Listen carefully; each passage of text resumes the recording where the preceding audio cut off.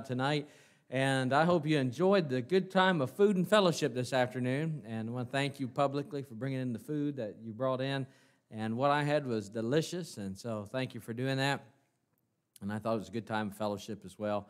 And so we're excited about what the Lord's going to do for us tonight. So why don't we pray together and ask the Lord to bless us and to bless the service uh, this, this evening. All right, so let's bow our heads for prayer. Brother Brian, would you mind leading us in prayer? Asking God to bless the service, please. Another day, another service we come to, and, uh, hear your word preached, Lord. Just thankful uh, for that, and thankful for your word and your love.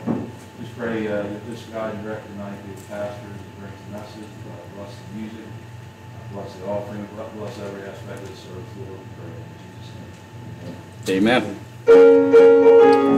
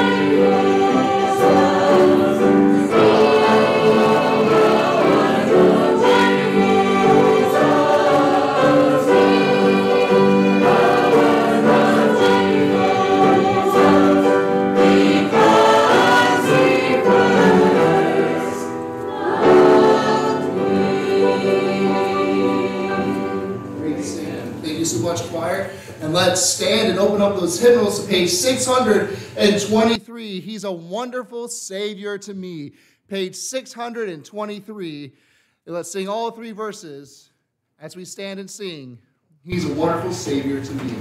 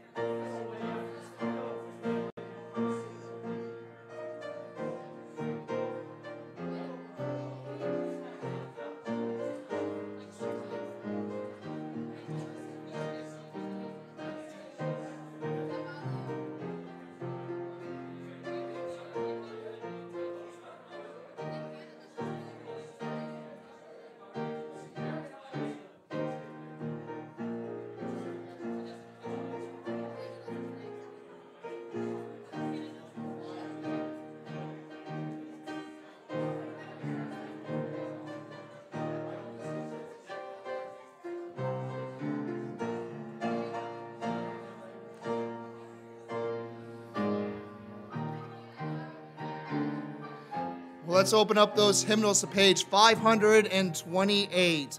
In the service of the King, page 528. Let's sing out to the glory of the Lord, for in the service of the King.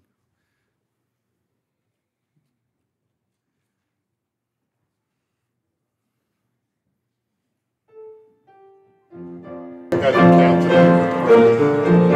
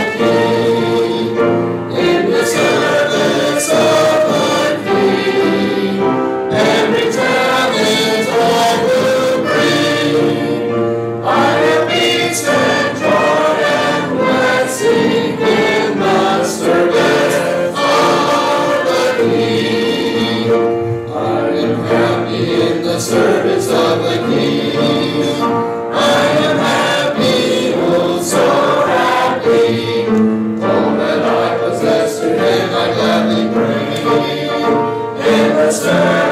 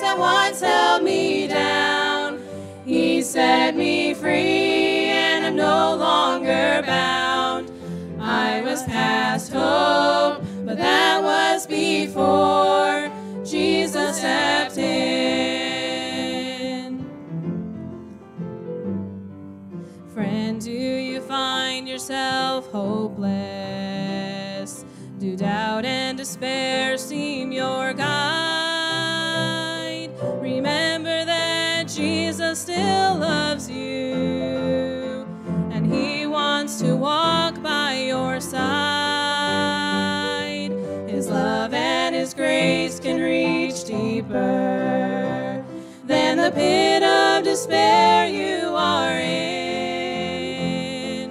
I know cause I've been where you are now, and I questioned if there was an end. That was before Jesus stepped in, erased all my past and cleansed all my sin. Broke the chains that once held me down. He set me free, and I'm no longer bound. I was past hope, but that was before Jesus stepped in. That was before Jesus stepped in. Erased all my past all my sin. He broke the chains that once held me down. He set me free, and I'm no longer bound. I was past hope, but that was before Jesus stepped in.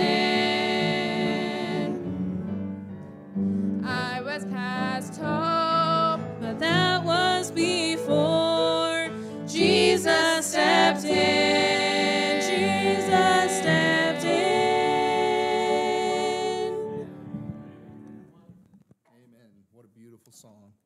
Let's open up our hymnals to page 301. Only Trust Him, page 301. You may remain seated as we sing Only Trust Him. Page 301.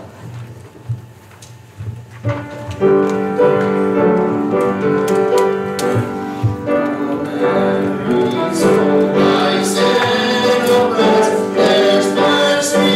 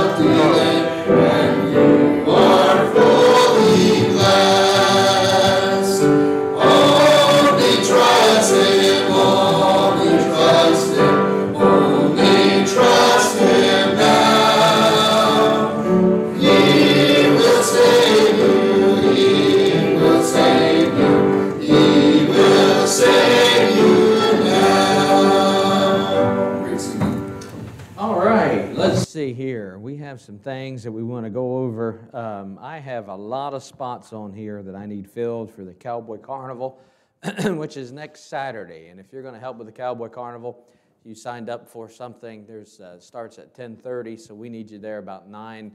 If you're going to be working the carnival games, probably about 9:45. But we do need a lot of people to help set up.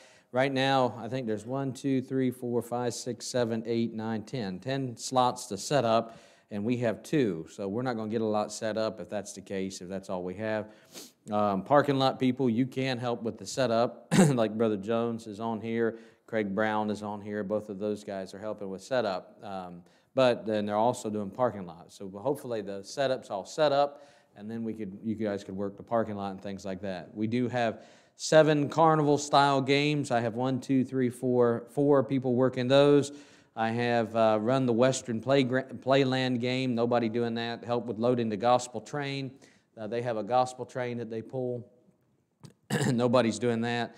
Um, the mechanical bull. Nobody's signed up to help with the mechanical bull. Um, run the jail. Caden Messick. I don't know about that. He probably should be in jail, not run the jail. And uh, but anyway, he signed up for that, I guess. Kenny, you did a good job of that last time.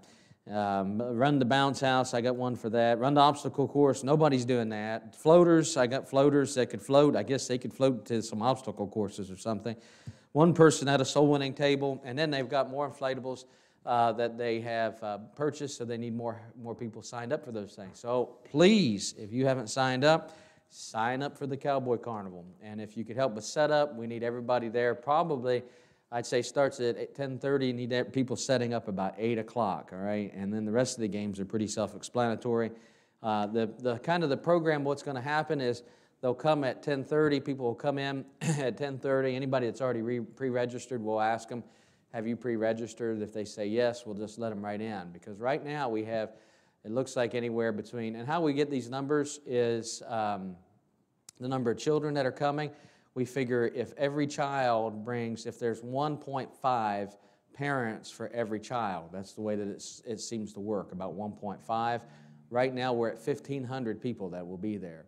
If for some reason there's two for every child, then that takes us up to about 1,800 people that'll be there. And so um, we, we have anywhere between 15 to 1,800 people that, are, that will probably have signed up and then that doesn't even include hardly any of our school parents. I don't know what their deal is, you know, why they haven't jumped on this yet. We haven't really, I don't know if it's promoted it a lot in the school or not, but uh, they'll probably sign up, and I don't know how many church kids have signed up for it or not. but um, you do, it would save you some time if you registered. Everybody comes in at 10:30, games are up and going, that kind of thing until 11, 11 o'clock. Everything shuts down, and they go over by a big uh, stage, and so we'll need a stage set up um, over there for the walkers, and, and they'll use the trick horse to present the gospel, and uh, then uh, he'll give the gospel and present the gospel through the horse and uh, give an invitation, and, and hopefully, prayerfully, people will get saved during that. And then uh, uh, we'll take them to the egg hunts, and they can run the egg hunts. And then once that's done, then they have time to play on the games for a little bit longer and the horseback, horse rides, and all that kind of stuff. And so that's kind of the setup. It'll go to about 1 o'clock, so 10.30 to 1. They have a big race down there. It's one of the opening days of races, one of the races going on. And so um, we have to be out of there by like 3. Not that we have to, but he asked if we could be done. I said, absolutely, we'll be done by then. So shouldn't be any problem. Um, but, uh, but anyway, let's be praying for a great day and praying. I hope that you're, you're there to help. So the sign up sheet is on the back table. If you don't sign up, probably this week we'll be calling you, asking you if you can help with some of these things if you forget to sign up on the sign up sheet. All right, can I have somebody take this back there for me so I can get back there? Somebody besides Kenny. Kenny doesn't need to do it. And he's been struggling double pneumonia in his lungs. And so somebody with young legs. That's it. Brother Finkart. Yes. Amen. and I don't know if you've met him or not. Melanie has a friend here. I'm glad Melanie and Michaela are here from college. And Melanie has a friend. This is our church family, so I'm sure she doesn't mind me saying this. And I won't embarrass him or anything like that. But this is Josiah. Josiah's from Maine, actually, and has uh, moved to Florida as a freshman in Bible college. And him and Melanie um, now um, they, have uh, started liking each other, and you know how that goes, right? uh, I'm watching him closely. All right? Because that's what dads have to do when it comes to their little girl. And we've kind of busted Noli's bubble. You know how Noli, she's so planned out, Noli's so organized, Noli has everything down. You know, she knows who she's marrying. Who's she marrying? Paul, that's right. Where are they living? Next to me, yeah, that's it. She's, she's going to help him build the house because they're building the house. She's going to help him build the house till she gets pregnant. And then no longer will she be able to build the house anymore. And because um, then she'll be pregnant. So she's got it, I mean, she's got it mapped out. And uh, so when Josiah came, Josiah did ask Melanie to be his girlfriend. He got my permission to do that. Amen. That's the way fellows should do it, right? Get dad's permission. So he got my permission to do it. And, um, uh, and I appreciate that. And so he came and, and surprised her on Thursday. We were up at Sight and Sound. We had it all planned. He had a good plan to surprise her. And I, you know how I am with that kind of stuff. I just thrive on that. I like it. so um, he, she, we got home about 9, 10. and uh, he was supposed to get there within like five minutes of us getting there, but he was with Austin. And Austin took him down to get some seafood, and then they're down in Ocean City, and Austin wants to order dessert, and Josiah is watching the clock because he knows he doesn't have time, and then they were a little bit later, so we tried to do things because Melanie was about to uh, wash her hair and do all this stuff, and we were trying to wait for her to do that because we figured, you know, she wouldn't want to have a wet head when he comes to the door. And uh, so we're, we're delaying and delaying, and finally he comes there and asks her in front of us to be his girlfriend. And he didn't have to do that, but he did it and, uh, and gave her a nice little gift, and it was all nice. And oh boy, it was just, uh, oh, my heart was just pitter, you know. Oh man. Uh, yeah, yeah. But anyway, uh, love was in the air that night. I'm telling you. I hope not love. I don't know about all that yet, but better not be yet. Better not be. um, but anyway, um, so uh, Noli was in bed when this was all happening. And so when she woke up the next day, we told her Josiah was there. And we told her that he asked uh, Melanie to be his girlfriend. And, and uh, she says uh, to me, she says, What? And she goes, I asked Paul to be my boyfriend. And I said, Well, the, the, the way that you should do it is the boy should ask the girl, okay, to be his girlfriend. Well, I asked Paul back in the nursery to be my boyfriend. And so that kind of busted her bubble. I don't know what she's thinking now, but anyway, uh, if she thinks she's going to wait for him to do it or what. But anyway, poor little Noli got her bubble busted uh, for, through all that, but I don't think it fazed her much, did it, Tammy? No, nothing fazes her hardly. So, anyway, but I hope you get the chance to meet Josiah. He's a nice young man. Seems to be so far until he does something I don't like, and then he won't be. And all fathers say, Amen to that one. Amen. All right. Let's go to Revelation chapter 1. Revelation chapter 1. Don't forget, ladies, about the ladies' activity coming up. And also, if you would, uh, be praying about your part of an Easter offering to help us get that van or that bus, that mini bus. We showed you pictures of that this morning. And just be praying for a good weekend when the walkers are here. My iPad is running low, and I don't usually have that problem. I don't know what the problem is. So if I, if I sense that it's getting ready to shut down on me, I've got a cord over here. I might have to go get it and plug it in, and uh, we'll go from there. But it, prob- it probably won't. I'll probably be all right. But if you see me go over there and get that, you'll know what's going on here. um, Revelation chapter 1. I'd like you to look at verse 10. Revelation chapter 1, verse 10. We've been on Sunday nights.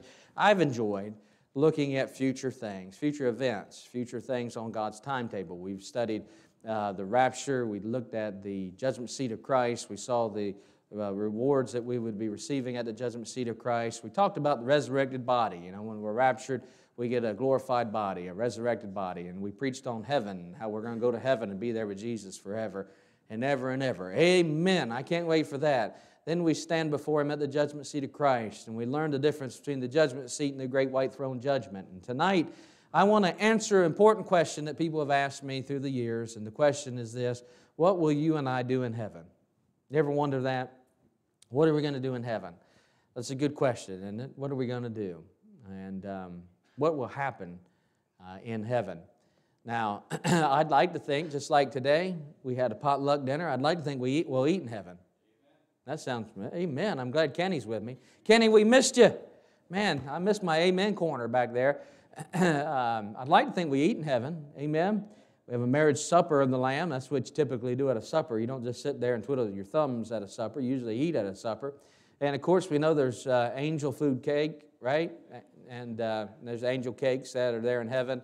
And, uh, huh? Ice cream, yeah, I'm sure ice cream will be in heaven. That's amen. And so we've got uh, all that. I think we'd eat in heaven. and uh, some people wondered what else we'll do. I believe we'll serve the Lord in heaven. Uh, I believe during the millennial reign, we're told that we will rule and reign with Christ for a thousand years.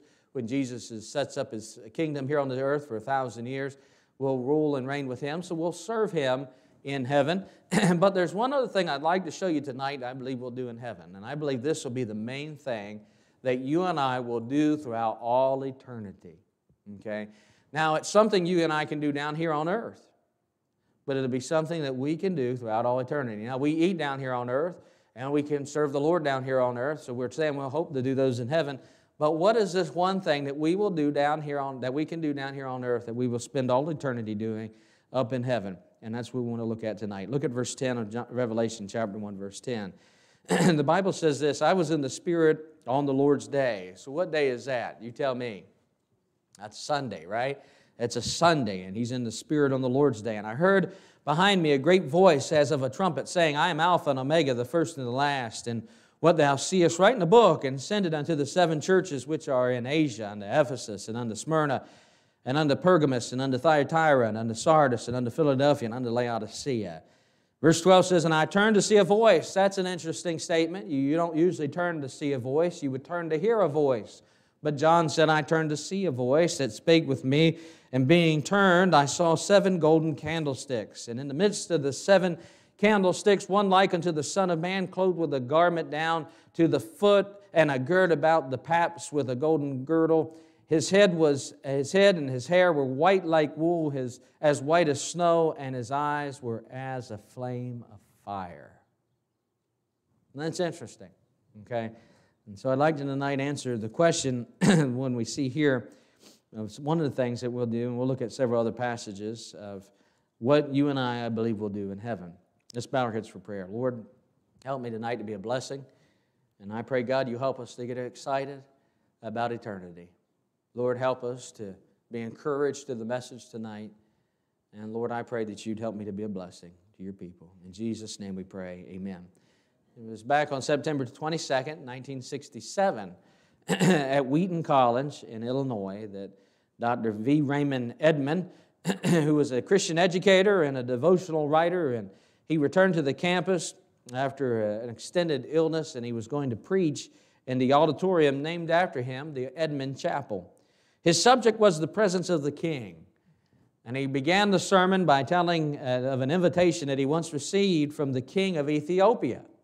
The king of Ethiopia asked, Ethiopia asked him to come, and he described in details the preparations and the protocol that preceded his visit. And he spoke of the sense of majesty he felt under, uh, upon speaking with the king. He spoke of walking down the aisle and having to pause and bowing and waiting to see if he would be allowed to proceed.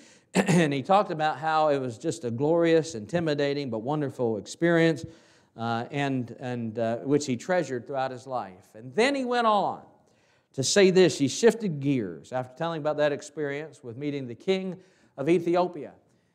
He switched gears and he said, But I speak primarily of another king. This chapel is the house of the king. Chapel is designed to be a meeting on your part with the King of Kings and Lord of Lords himself. To the end, chapel is designed for the purpose of worship.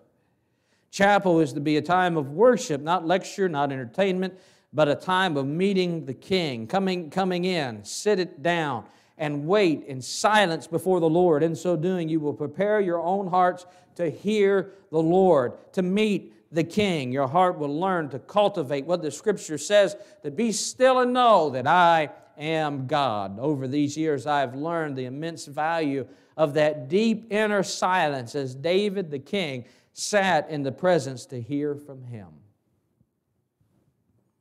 Now, after that statement, here's what happened. Just a few moments later, he collapsed. Right there in the pulpit, he collapsed and instantly was in the presence of the very king he spoke about. To be absent from the body is to be present with the Lord. Now, Brother Hatfield, I, I know your heart probably feels this way. Brother Gorman, you probably feel this way as a preacher. And any other preachers that are here, you know, you think about it sometimes how will you go to heaven? and I often thought, think to myself, it'd be a joy, wouldn't it, to be preaching about the king or preaching about heaven? And all of a sudden, something just happens and you just drop dead and go. So if you're going to go anyway, that'd be the way I'd like to go. Amen? No pain, no discomfort, no morphine, no, none of that. Just talking about Jesus and one minute being here on earth and the next minute being with Him. That'd be a wonderful thing to do that. And you know what we find here in Revelation chapter 1, verses uh, 1, 10, 10 and on, what we read, we find John, he, uh, he's in the Spirit on the Lord's day, the Bible tells us. This is the opening vision in the book of Revelation. John saw the glorified Christ uh, in, uh, among the golden lampstands as candlesticks and the enthroned and splendor and full of glory. And we find the next two chapters. What happens is John then begins to relate a message from Jesus to those seven churches of the Asia Minor area. And, and that's recorded to us there in Revelation chapter 2 and 3. And then you come to Revelation chapter 4 and 5. When you get to Revelation chapter 4 and 5, turn with me there. You'll find in Revelation chapter 4 and 5, you get a glimpse in, into heaven. And what we find is a great worship service that will occur around the throne of God. And, uh, and you know, we, have, we see the end events that are taking place of the earth, of history, and then all of a sudden there's this celebration that's taking place. A lot of commentators believe that these two chapters of the Bible are the greatest two chapters on, in all the pages of the Word of God that deal with the topic of worship. Worship. And I believe that's something that you and I will do throughout all eternity is worship and praise the King. Let's think about our services down here on earth. You know, as we think about our services on earth and as we strive to worship the Lord and serve the Lord and those things, when we think about the services, you know, there's three major components of of a service. Number one would be that of praising God. And we've kind of done that a little bit tonight, haven't we? We praise God through singing. We've lifted our voices. We've talked about Jesus. The King of Kings is He. I like when the choir sings that song. Amen? And uh, we praise God a little bit tonight. Then there's been a little bit of prayer that we've done that as well. When we think about services down here on earth, and, uh, and when, we, when we have times of worship down here on earth, there'll be usually times of praise, there'll be times of prayer, and then there's times of preaching. So, three main components you have prayer, praise, and preaching, right? And that's what kind of makes up the service. Um, and, uh, but what I'd like to say this is when we think about heaven, I think I can show you this from the Bible, that there's only one of those things that we might think that happens in a service where we may be worshiping the Lord. One of those things will happen in heaven. And you know what that is? Well, let's think about it prayer. Will prayer be in heaven? Oh, I don't believe, Brother Hatfield, that we'll have prayer in heaven. I, I could be wrong on that, but I don't know that we'll have prayer in heaven, at least the way that we pray down here. Okay? Uh, because when we pray down here, we pray to enter into His presence, and when we're there, we'll be in His presence. So it'll be absolutely different when we do that as we pray. And I don't know that we'll be praying in heaven the way that we would pray down here on earth. and then the other thing is, I'm going to be out of a job because I don't believe there'll be preaching in heaven. Amen? I mean, why would you need preaching? Now, I would think, because our Bible tells us that the Word of God is, is uh, settled forever in heaven, that there may be times where we enjoy poring over the Word of God. I would think that might be the case because it's in heaven, we know that. And there may be those times where we enjoy poring over the Word of God and those things. but when you think about preaching, preaching, what are we doing? We're exhorting one another when we preach. We're trying to get God's people to obey the Word of God and to live out the Word of God. But at that point, we won't have that anymore because, I mean, we'll be perfect. At that point, we'll be in our glorified bodies, right? Uh, and there will, won't be any sin, and so we won't have to preach on sin. We'll already be saved, so there won't be any preaching on salvation. And so, preaching, I don't think there'll be preaching going on in heaven. And the only thing I can find in our services down here that if, if it consists of praise, prayer, and preaching, the only one that we can find in the Bible, that I believe that we can find in the Bible, would be that of praising God forever and ever and ever. All right? Now, that leaves us to that one great dominating heavenly uh, element, which would be that of praise. Praising God is that th- third, is that one of those three elements that we'll do uh, when we get to heaven. You think about it. When you get to heaven, you read about the, these times of praising God and we're going to look at them in just a few moments. When you read about it in the, on the pages of the Bible, you don't find uh, anyone having to crack a whip and demand that somebody worships God or praises God. You don't find that happening. What you find is you find God's people. You find that there's God's people that are there, and we wholeheartedly, we voluntarily, from the heart, are worshiping our King, King Jesus. Boy, it'd be great if that was the attitude of God's people today. When we come in the church from the heart, they're worshiping the Lord. And, uh, and you know, it brings us to that, those two chapters, these two great chapters on worship. And I want to share with you a few things about worship. And I hope it'll be a help to you uh, as we look at this on, in Revelation chapter 4 and Revelation chapter 5. The first thing I'd like to share with you is this, that of the context. I mean, this is something that's going to happen in the future. I want you to see the context of worship. Look at Revelation chapter 4 and verse 1. After this, I looked, and behold, a door was open in heaven. And the first voice which I heard was as it were of a trumpet talking with me, which said, Come up hither, and I will show thee things which must be hereafter. Now, there's a, a, a phrase here. As you look at this, it says, A door was opened in heaven. And so, from John's spot on the island of Patmos, we know John is in exile on the island of Patmos, and from his spot, John was able to gaze through an open door into heaven. And he saw something that he had never seen before. All right? And can you imagine that? Can you imagine what that must have been like for John? I mean, he is on the island of Patmos, um, and uh, he looks, and there's something, there's a door, it's open, he sees into heaven, and he sees something that he never have seen, has saw before. And what was it? It was God's people. It was a heavenly worship service taking place in heaven. Now, you have to understand the church at this point is raptured, okay? That, that triggered the final events in, in history of the world as what we would know. And now there's a great celebration would break out in heaven. I mean, the angels are there. The cherubims are there. The seraphims are there. The angelic forces in heaven, in the heavenly realm, they're there. The redeemed saints of all ages are there. And what do we do? We burst out in praise to our God, according to Revelation chapter 4 and Revelation chapter 5. You have to understand that John at this point, he's the only surviving member of the original band of apostles. And he wrote this while he was experiencing trials or difficulties or a time of testing on the island of Patmos. Do you think John would have felt weary? I think he would have been weary. Do you think John was worried a little bit? I believe John was probably a little worried. Uh, do you think John was probably wondering whether his life and his work uh, his ministry was all over. I'm sure that probably had crossed John's mind at some point whether his life and his work, uh, his ministry was all over. But then, in the midst of his exile, during that exile, then he suddenly hears a voice and he turns to see what's speaking to him. And what does he see? Well, he sees verse 1. He sees a door open and he's able to see a heavenly worship service taking place. Now, this was an extraordinary moment. He was able to view what was taking place in heaven.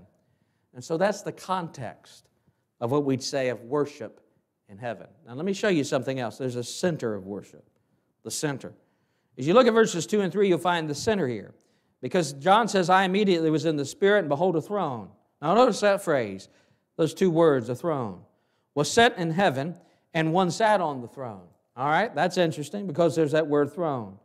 And then in verse 3, and he that, that sat was to look upon like a jasper and a sardine stone, and there was a rainbow round about the throne in sight like unto an emerald. and so you find this throne. The key word in verses 2 and 3 is that word throne. It appears some 42 times in the book of Revelation. And many of those times are found right here in, in chapters 4 and 5. For instance, we read about the throne in verses 2 and 3. Take a look at verse 5. And out of the, what's the next word? Throne. Stay with me now. Proceeded lightnings and thunderings and voices. All right? So there's the throne. Take a look at verse 6. And before the what? Throne. There it is again. There was a sea of glass like unto crystal. And in the midst of the what? Throne. There it is again. And round about the what? Throne. There it is. And so look it down at verse 10. The four and twenty elders fall down before him that sat on the what? On the throne. That's right. Jump over to chapter 5 and look at verse 11. And I beheld and heard the voice of many angels round about the throne. And then you jump down to verse 13, and you find in every creature which is in heaven and on, uh, on the earth and under the earth, and such as are in the sea, and all that are in them, heard I saying, Blessings and honor and glory and power be unto him that sitteth upon the what? There's the throne, that throne, and him that sat on the throne. The reference to God's heavenly throne speaks of sovereignty. The reference to God's heavenly throne speaks of authority. It speaks of reign. It speaks of absolute power. That's what that throne represents there in Revelation chapter 4 and chapter 5, and really throughout the book of Revelation. And so when we study God's throne or the throne of God, in the book of Revelation, here's what we're reminded. We're reminded that while the events on earth seem chaotic, did you hear me? We're reminded that although the events on earth seem chaotic and sometimes, often, they seem meaningless, there is one in the universe that is seated on the throne that is in charge and is sovereign and is in control of your life and my life. Amen? And so, in the midst of a chaotic and crazy world, thank God there is someone who's still on the throne. Now, I wonder how John felt when he, in, when he, in chapter 4, when he gazes into that heavenly throne. And he tried to describe it. And, and you just imagine his feelings as he gazed at the majesty of that heavenly scene, the beauty of that throne. He saw his eternal creator there on that throne. And all he could do is, is the, to be able to comprehend it was describe it as like a diamond like brilliance, a gemstone like beauty. And that's how he describes it to us. God is seated on the throne. And so there's a center part of worship, okay? The center of worship is the throne. It's the throne. So keep that in mind as we think about worship. now, I want to show you the chorus of worship. The chorus of worship. You know, I like the little chorus that we sang tonight. Uh, what a mighty God we serve. What a mighty God we serve. Is that what we sang? I just want to make sure I was on the right chorus. All right? How about God can do anything with anything? That's a good little chorus, isn't it? And we sang that. Did you sing that this morning? And you changed it on me tonight, didn't you? and so the chorus. What chorus are we going to sing? That brings us to the chorus of praise we hear around the throne. And so the Apostle John, he could hear it as he sees that door is open and he looks into that door and he sees a throne. And he begins to hear what's happening around the throne. And this is what he heard. Take a look at what he heard there in Revelation chapter 4 and look at verse 4. And round about the throne were four and twenty seats, and upon the seats I saw four and twenty elders sitting, clothed in white raiment. And they had on their heads crowns of gold. Now, the question I have for you is who is that? Who is the ones, who are the ones that are clothed in white raiments? And who are the ones who have received crowns? Well, I know who that is. Hey, I've already answered that question, haven't I? Now, that's you and I. You and I are in white raiments, and you and I have received crowns. Where did we receive crowns? Well, we received them at the judgment seat of Christ. Remember, last week we covered the five crowns that you and I received at the judgment seat of Christ. Now, watch this now in verse 9. And when those beasts give glory and honor and thanks to him that sat on the what? The throne, who liveth forever and ever, the four and twenty elders fall down before him that sat on the throne. Who are the four and twenty elders? The four and twenty elders, I believe, are the saints of all ages. So that's you and I. We're there. We're a part of that four and twenty elders, all right? so you and I, or these four and twenty elders, fall down before him that sat on the throne and worship him that liveth forever and ever and cast their crowns before the throne. Now, haven't we already established we're going to do that?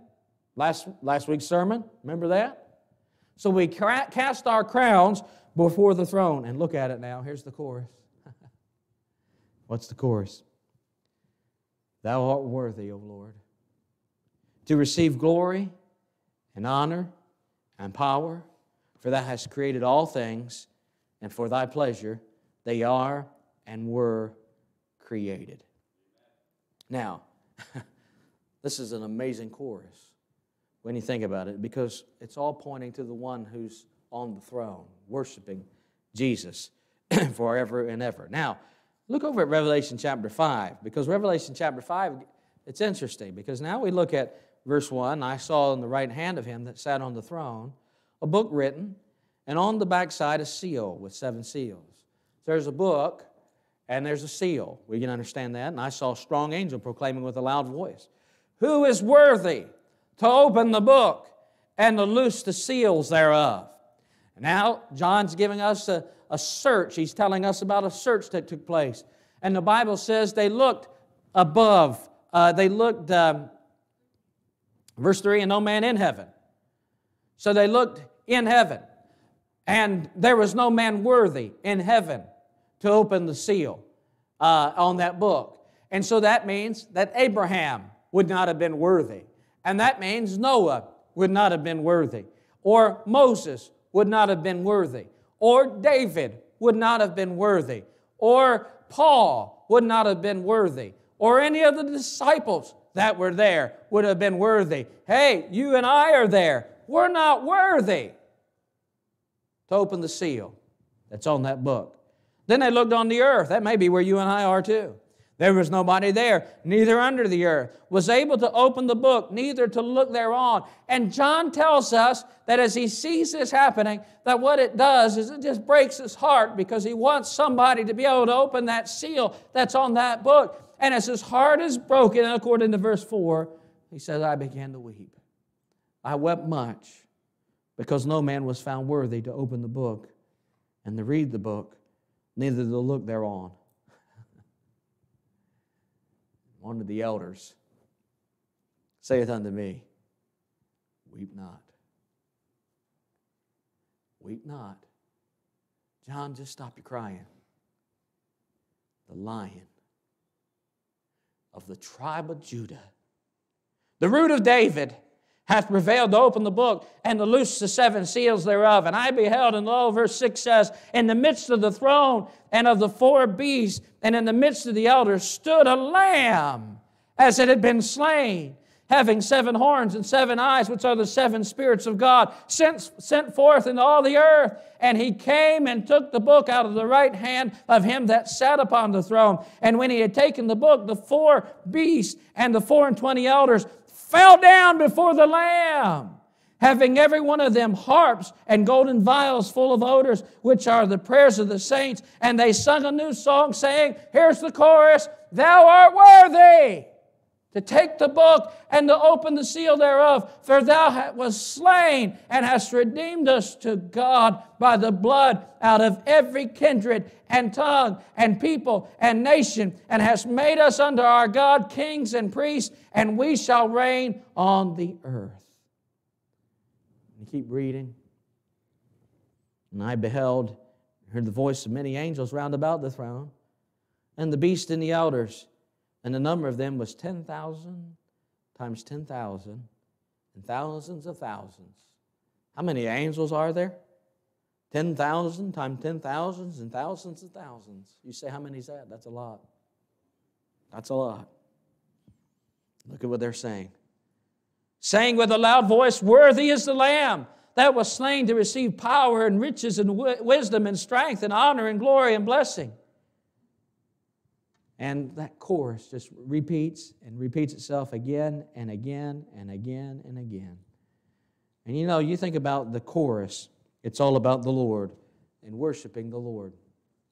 A preacher of the past, he said this, it was back during World War II. He went to describe worship, and here's what he said He said, To worship is to quicken the conscience by holiness, by the holiness of God, to feed the mind with the truth of God. This is worship. To purge the imagination by the beauty of God, to open the heart to the love of God, and to devote the will to the purpose of God. And I'll, I'll read that to you again because I think that's an important definition of worship. Worship is to quicken the conscience by the holiness of God, to feed the mind with the truth of God, to purge the imagination by the beauty of God, to open the heart to the love of God, to devote the will to the purpose of God. Now, that describes the worship in heaven. And that ought to be the goal of every time we worship God down here on earth. That's the chorus. Let me give you the crescendo. You know what a crescendo is, don't you? I learned about the crescendo when I was in elementary school and I was taking music. And my music teacher, Miss Eli, she said this. She said, The crescendo is like the alligator's mouth on music. Starts out small and it goes real big, all right? And so as it starts out small, that means you sing softly. And as it gets bigger, you sing what? You sing louder. That's right. You're good. You guys know what a crescendo is, don't you? Um, how about when we sing, Oh, come, adore him. Oh, come, let us adore him. Oh, come. You know, and you get real loud on that part. You know what I'm talking about when we sing this, that Christmas song? Oh, come, let us adore him. All right? So that's the crescendo. So, what's the crescendo here? I want you to see this because it's interesting. Because what I find as I read this in chapter 4 and 5, there's a progression here. I mean, it's acceleration of praise in this heavenly worship service as it progresses. In this crescendo, it's just a steady increase of volume and force. And so, uh, the music here grows louder, it grows stronger, and it reach a, reaches a, a climax uh, and the finish there. And it's just an amazing time. Look back at Revelation chapter 1, verse 6. All right? Watch this. Watch how it just builds. I want to show you this, how it builds here. The worship of and praise to God. in verse 6, it says this And he uh, and hath made us kings and priests unto God. To him be glory and dominion forever and ever. Amen. And do you see that? It says, To him be glory and dominion forever and ever. Amen. All right, that's one. Now let's see if it builds a little bit more. Let's go over to chapter 4, verse 11. We read it already, I believe. Chapter 4, verse 11. Look at verse 11. Thou art worthy, O Lord, to receive glory and honor and power. Oh, we've already added some things here, haven't we? And so it's getting a little bit more force here to receive glory and honor and power, for thou hast created all things, and for thy pleasure they are and were created. Now let's go to chapter 5 and verse 13. Chapter 5 and verse 13. And every creature which is in heaven and on the earth and under the earth, and such as are in the sea and all that are in them, heard I say, blessing and honor and glory. Oh, we're getting more and power be unto him that sitteth upon the throne and unto the Lamb forever and ever. Now jump over to Revelation chapter 7, verse 12. Look at this now. Here's the climax, here's the finale, chapter 7, verse 12. And we find saying, Amen, blessing and glory and wisdom and thanksgiving and honor and power and might be unto our God forever and ever. Amen. Do you see it? Do you see how it builds from chapter 1 there to chapter to chapter 7? And so you find the crescendo of worship in heaven. Now, one last thing I'm going to give you, and I'll be done, and that's the contrast of worship in heaven. As you look at chapters 4 and 5, you'll see some, this pattern of worship. And I believe we ought to understand what worship is really all about, but there's some contrast. And so John looks at heaven through this mysteriously open door that's there. And he saw the grand scale and this gigantic, uh, gigantic celebration of worshiping God. And, uh, and you know, John's allowed to experience this, but he was in real, he had two realities going on. One, here's what he was on. One hand, he's isolated on the island of Patmos. He's separated from his friends. He's worried about persecution. Okay? And so he's got problems. So he's in two realities here.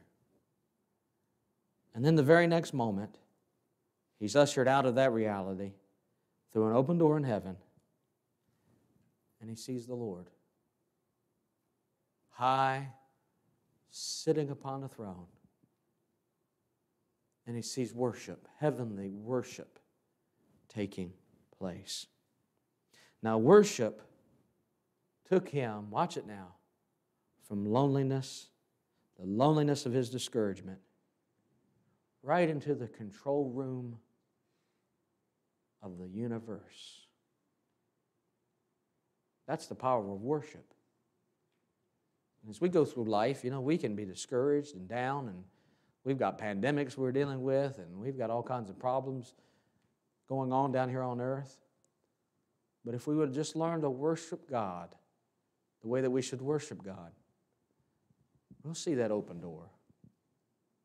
And our hearts and minds can be focused on the one who's in control of our life. Boy, I think that can really help us as we go through life and understanding what worship is all about. Let me give you some things, all right? The first thing is this worship is not about us, it's about Him. Did you hear me? Worship is not about us, it's about Him. As we worship God, we need to remember it's not about us. Song leader gets up, Brother G gets up, and he says, Let's turn to 458. And you don't like that song. And you say, Man, that was a horrible service. I didn't like the song, I didn't like the special. I didn't like that. That's, that's what before Jesus came in. You know, I didn't like those girls singing that song. And, you know, hey, hey, hey, it's not about you. Not about what you like. Okay? It's about Him. Worship is not about you, it's about Him. So we need to understand that as we think about things. And, uh, you know, let's take the microphone. Is there a microphone? Yeah, there's a microphone. Have you ever seen somebody when they sing in some churches and they get up and they hold the microphone right up here as they sing? And it almost looks like they're at, I'm watching somebody that I used to watch before I got saved in a concert somewhere. And they're up here and they're just almost, they've got a good voice, but they're performing. And a lot of the attention is being drawn to themselves. When we sing in church and we worship the Lord, it's not drawing attention to us. Who should we be drawing attention to? To Him. Why is that? Because worship isn't about you, it's not about me. Worship's about Him. Amen? And so we need to be careful with that. Let's not draw attention to us, let's draw attention to Him. Number two, worship is not about here, it's about there. Okay? One of the main purposes of worship is to get our minds off of the things and the problems that are going on on earth. You follow me? That's one of the keys of worship. It's not about here. One of the purposes of worship is to get our minds off the things of the earth and onto the things in heaven. Now, when we do that, when we're able to do that, we're focused more on there than here. And I'll take, but in 2 Corinthians chapter 4 and verse 16, um, it says this 2 Corinthians 4 16. It says, For which cause we faint not, but though our outward man perish. Boy, I understand what that means. All right? Our outward man, this body is perishing, isn't it? They've told me I have arthritis in my knees, probably from all the skateboarding I used to do. And I know some of you are laughing to yourself when you think about that fella up on a skateboard. That's not possible. But yeah, I used to skateboard, all right? Fall on my knees all the time and um, I damaged my knees. I got arthritis on my knees. And I can feel it when it's outside like today. I can feel it in my knees because my knees ache a little bit more. And it reminds me that this outward, this man, this body is perishing. It gets old, gets weaker, it's not the same. And so, verse 16 tells us, uh, For which cause we faint not, but though the, our outward man perish, yet the inward man is renewed day by day.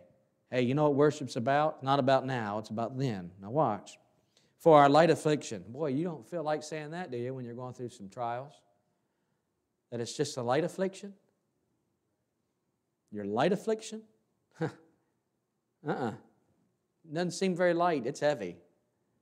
But our light affliction, which is but for a moment, doesn't seem like it's a moment, seems like it's forever. You ever go through something like that?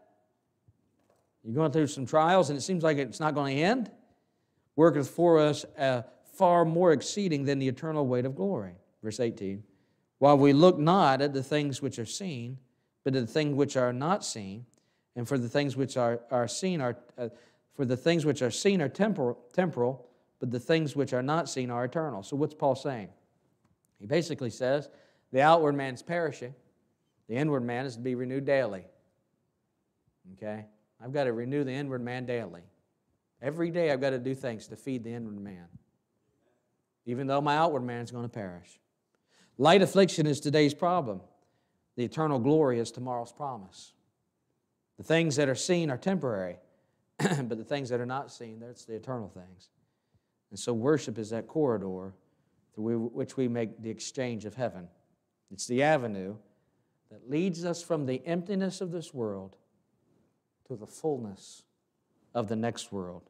It's the street that leads from decay and discouragement to renewal and glory. And when we fail to worship, we confine ourselves to the despairs of this life.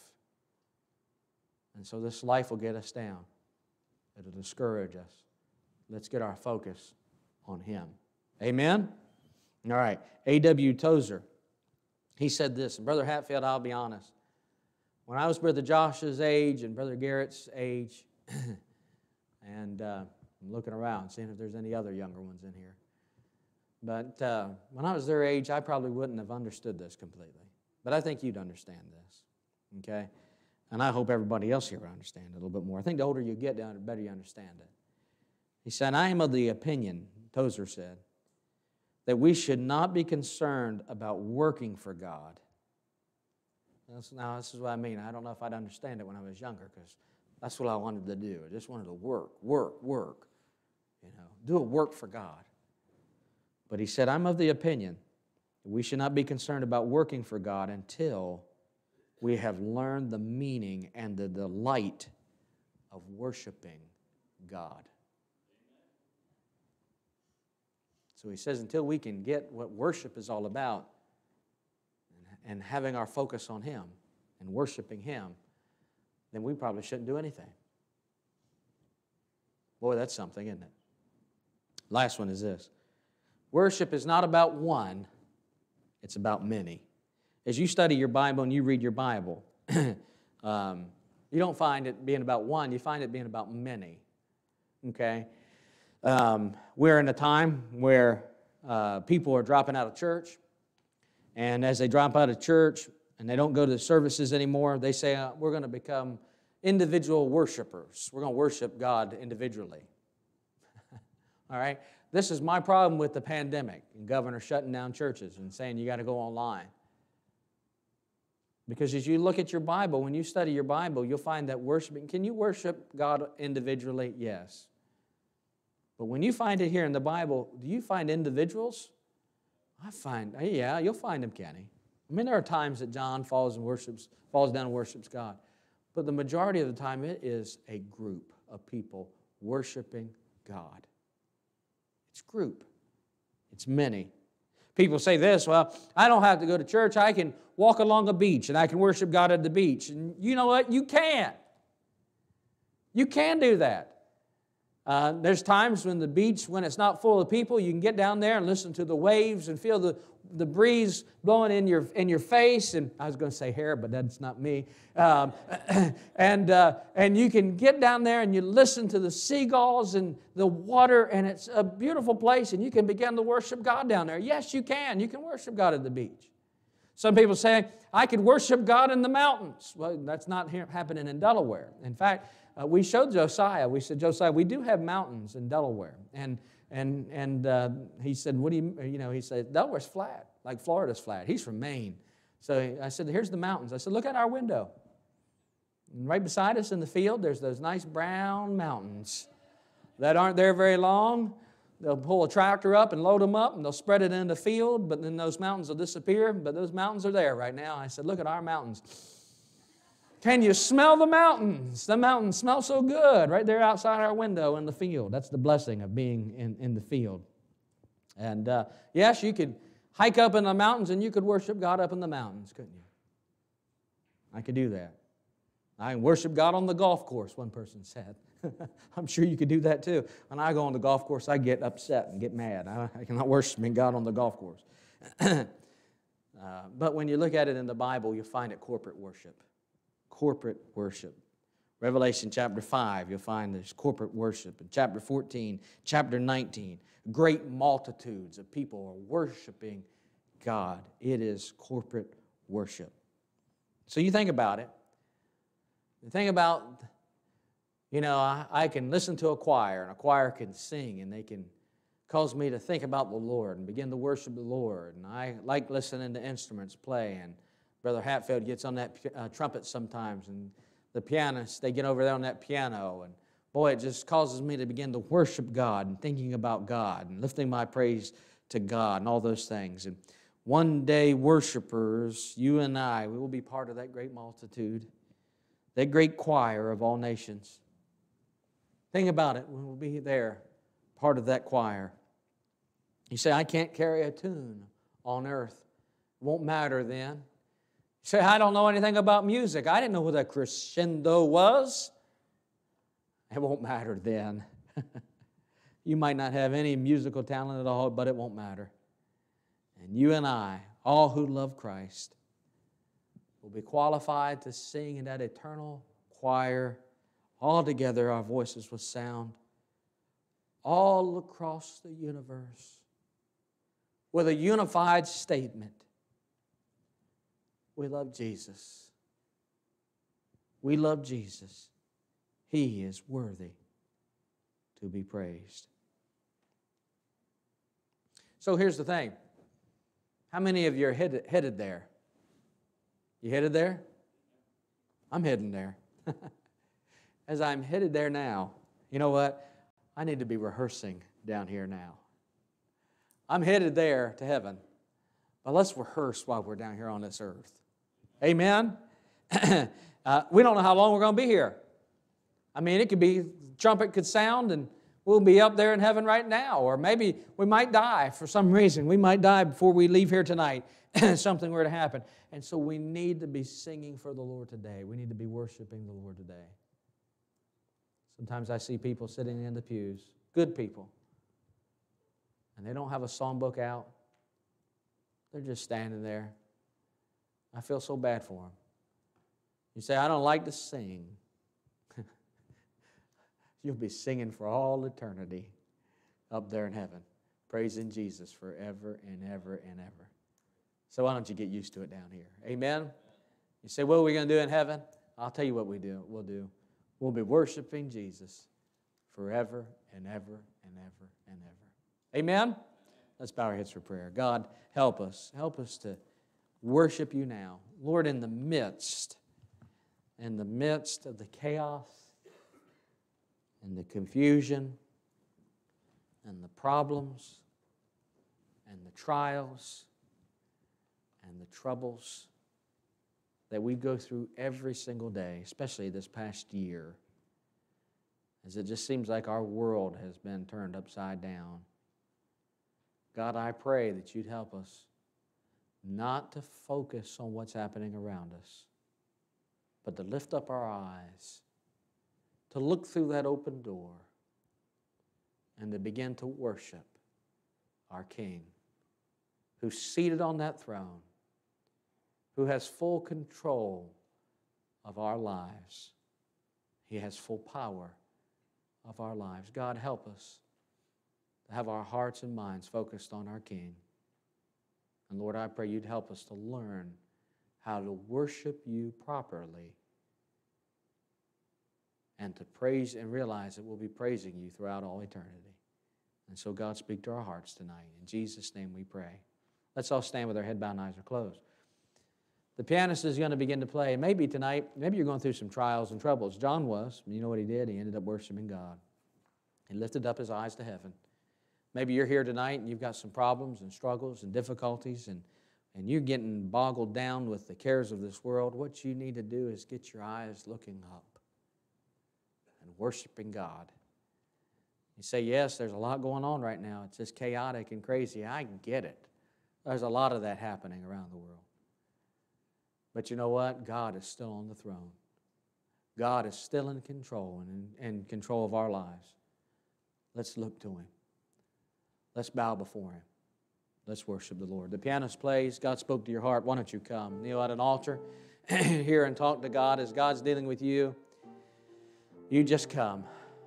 Just come and talk to God. Lift your eyes to heaven and talk to Him. And God speaking to your heart, you come. If you're here tonight, you're not saved. Why don't you come? You can be saved before it's eternally too late. Ahem.